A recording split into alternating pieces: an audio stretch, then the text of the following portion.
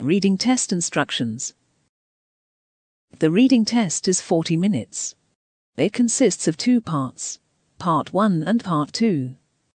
There are four tasks in the test. Three tasks of reading for comprehension in part 1 and one task of fill in the blanks in part 2.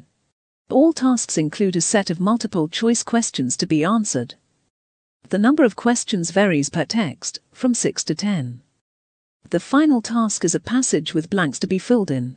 You have to choose from multiple word options for each blank space. Marks will not be deducted for incorrect responses. Now get ready for the test and follow the instructions.